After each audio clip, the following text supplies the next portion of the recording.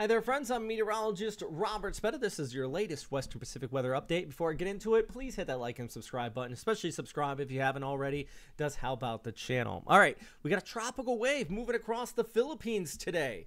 Yeah, let's actually go back to that satellite picture real quick. You can kind of see that broad area of convection right over the Philippines, bringing plenty of rainfall. We have the rainy season front back towards the north, right in there, and this high pressure ridge just like that. Now, see all this is going to come together. We have the southwest monsoonal flow. So as this wave runs into that, it's going to round that uh, that high pressure ridge, pull this towards the north, run into the rainy season front, and that could develop a storm somewhere in here. It looks like I'm making a play here for uh, some sort of sports team, but uh, that really is what's going on, and that's why it's always important if you are a learning meteorologist, you want to know what's going on out in the world.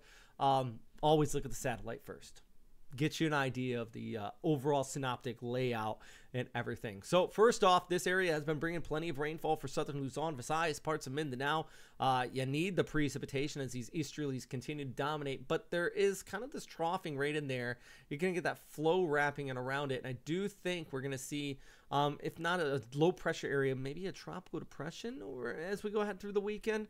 Uh, if something does form, it's going to be one of these more monsoonal gyre type of lows, probably not a wrapped up tight center of circulation. You can see that here on Sunday and the Monday, pushing off towards Hainan. Increasing rain for runs into Vietnam, Hainan, and also in Hong Kong. You're going to see that uh, southerly flow wrap around there. Plus, we're watching another tropical wave towards the south and east that could be uh, bringing another shot of precipitation too. So there's a few areas to, to talk about here. This is what I'm talking about though. Those showers kind of pushing through. You see how that moisture comes on shore in Palawan, even over towards Manila, Sunday into Monday, and then our low pulls north, and those winds really cruise on shore uh, for the uh, Hong Kong area, really just kind of blasting into your area too. So there is uh, a few regions to talk about, few areas to watch, but of course, I'm going to keep you posted. In fact, uh, just pull up this graphic real quick for you. Uh, tropical tidbits. Love this site because uh, they just got so much. Levi Cowan runs this great site. Well, here's a look at the uh, West Philippine Sea off towards the Gulf of Hainan. Yeah, you got that low kind of wrapping up right in there. Could bring some of that southwesterly flow. And also, remember yesterday, about 300 hours out, we were looking at the potential of a storm in the Philippine Sea.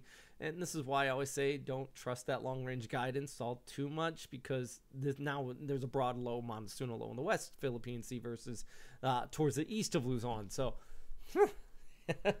regardless, if we've been getting day in and day out that long term forecast. So, Climate Prediction Center still expects, you know, uh, an above average chance for a tropical cyclone uh, development um, by the end of the month. Anyways, you know what today is? June 21st or 22nd, depending where you are. It is the first day, uh, or 20th, 21st. Yeah. Uh, first day of summer. and uh, this is officially when uh, the sun rays are directly at the Tropic of Cancer. And so in the northern hemisphere, it's the first day of summer. Southern hemisphere, it is the first day of winter, obviously. And also, it is the longest day of the year. For example, in Manila, sunrise at 5:27, sunsets at 6:28. About 13 hours. It's not that. Uh, it's not like in the northern latitudes where you get you know 24 hours of daylight.